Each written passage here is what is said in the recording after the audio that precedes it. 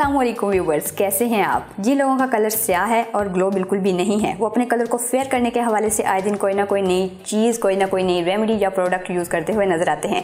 तो ये वीडियो उन्हीं के लिए है क्योंकि इसमें है बहुत ही आसान और बेहतरीन हल और हर कोई यूज़ कर सकता है क्योंकि ये वीडियो बहुत ही सिंपल होने के साथ साथ इफ़ेक्टिव भी है। करना आपने ये है कि किसी भी हकीम या पंसार की शॉप पर चले जाएँ और उनसे कहिए चिरंजी चाहिए। ये इस तरह के खूबसूरत बीज आपको बिल्कुल आसानी से मिल जाएँगे। इनको चिरंजी भी कहते हैं और चिरोली भी। और इंग्लिश में भी कुछ कहते हैं, सारे नेम्स आपको स्क्रीन पर नज़र आ रहे होंगे। अगर वहाँ से भी ना मिले तो द्रास डॉट पीके पर पड़ी हुई है। जड़ी बूटी डॉट पीके पर भी अवेलेबल है। ऑनलाइन मंगवा सकते हैं। अच्छा यार, ये इतनी पॉपुलर नहीं है, लेकिन इसके स्किन के लिए एडवांटेजेस इतने अमेजिंग हैं कि मैं हैरान हूँ कि मैंने अभी तक आप लोगों को बताया क्यों नहीं। स्किन के लिए हाईली कॉन्सेंट्रेटेड प्रोटीन विटामिन और मिनरल्स प्रोवाइड करती है। अच्छा इसमें अलग बात यह है की इसके अंदर से एक खास किस्म का ऑयल निकलता है, जिसे चुरंजी ऑयल कहते हैं। ये स्किन फेयरनेस के लिए कमाल एंटी पर मुश्तमिल होता है। स्किन को व्हाइटनिंग देने के साथ साथ ब्लेमिशेस को फेड करने और एक्नी पिंपल्स वगैरह को खत्म करने की बेहतरीन सलाहियत है इसमें। अच्छा बातों को करते हैं खत्म और वीडियो को जल्दी से शुरू करते हैं। लाइक करना भूल जाते हैं यार आप लोग। आगे बढ़ने से पहले लाइक ज़रूर कर दीजिएगा। सो so, आपको करना यह है कि अगर आपका फेस ड्राई है तो सबसे पहले ड्राई फेस के लिए बता देती हूँ फिर ऑयली और फिर कॉम्बिनेशन स्किन के लिए बताती हूँ। सो so, ड्राई स्किन के लिए भरपूर फ़ायदा लेने के लिए आप चिरौंजी को लाकर धूप में अच्छी तरह खुश कर लें। खुश करने के बाद इसे ग्राइंडर में डालकर अच्छी तरह से पीस लें ताकि ये एक बेहतरीन सूफ बन जाए। अगर फाइन पाउडर फिर भी ना बने तो इसे किसी मलमल के कपड़े में डालकर भी छान सकते हैं। आप इस पाउडर को अपने पास सेव कर लें।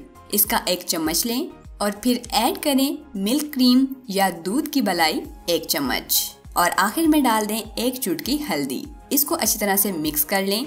आपके पास ड्राई स्किन के लिए बेहतरीन पेस्ट तैयार हो चुका है। चुरंजी चूके खुश्क मेवाजात यानी ड्राई फ्रूट्स और नट्स की फैमिली से है और बेनिफिट्स के हवाले से इसे कहीं ना कहीं ऑलमर्स का मुतबादल भी कहा गया है। सो अपनी स्किन का ख्याल रखने के साथ साथ इसे रोज़ाना की बुनियाद पर 15 मिनट तक अपने चेहरे पर अप्लाई करें और धो लिया करें।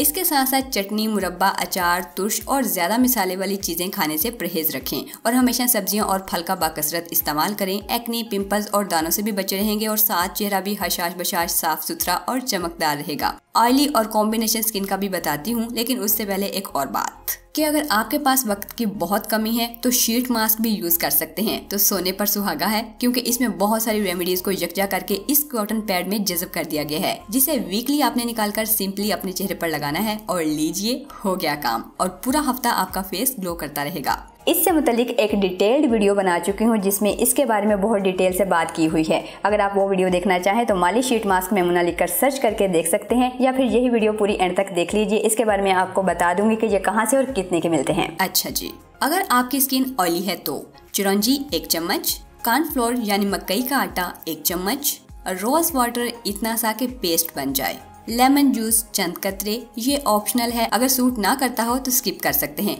इन सब चीज़ों को अच्छे से मिक्स कर लें और बन गया ऑयली स्किन के लिए बेहतरीन पेस्ट अब इसको भी आपने डेली बेसिस पर, पूरे फेस पर अप्लाई करना है। लेकिन याद रहे कि अगर आप इसमें लेमन ऐड करेंगे तो अंडर आई एरिया से बचाकर अप्लाई करना होगा। लगाने का तरीका भी इसका सेम है। फेस को क्लीन करके सिंपली अप्लाई करें और 15 मिनट बाद धो लीजिए। एक ही हफ़्ते में आपको बेहतरीन रिजल्ट्स मिलना शुरू हो जाएँगे। इजाफी, ऑयल गायब और एक्नी पिंपल्स भी कंट्रोल होना स्टार्ट हो जाएँगे। इसके साथ साथ चेहरा भी नीट एंड क्लीन दिखना शुरू हो जाएगा। अब बारी आती है जी कॉम्बिनेशन स्किन की। इसके लिए आप लेंगे एक चम्मच चुरंजी पाउडर जो आपने बनाकर पहले ही अपने पास सेव किया हुआ है।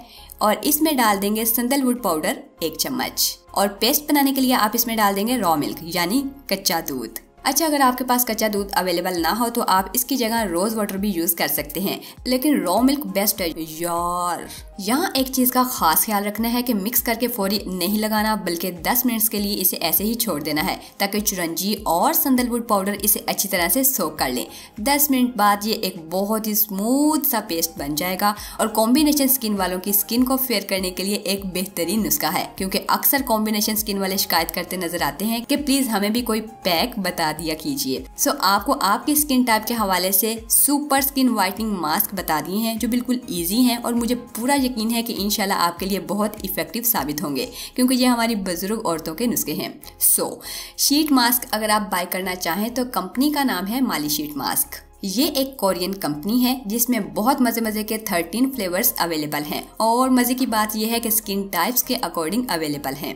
मुकम्मल प्राइस डिटेल जाना चाहें तो वीडियो के नीचे डिस्क्रिप्शन में दिए गए किसी भी लिंक पर जस्ट क्लिक करके इनकी सारी डील्स और सेल प्रमोशंस भी जान सकते हैं। आई होप कि वीडियो आपके लिए यूजफुल रही होगी। लाइक शेयर मिलते हैं। अल्लाह हाफिज़।